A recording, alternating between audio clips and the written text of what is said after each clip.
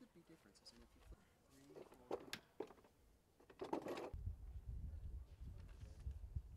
if you put three, four, no, we just have to work the process. And uh, it's the most we hectic dates ahead.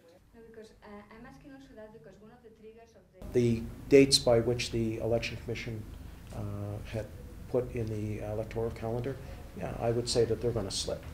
How, how, how much, how, how, uh, by how much, I'm not really sure, but um, they will definitely slip. Okay, for you? We have about, I'd say somewhere. stations that have more than 90 The goal is to do this as timely as possible, so hopefully this will be a matter of weeks, not months. Uh, But the more important thing from our perspective is that it's done thoroughly.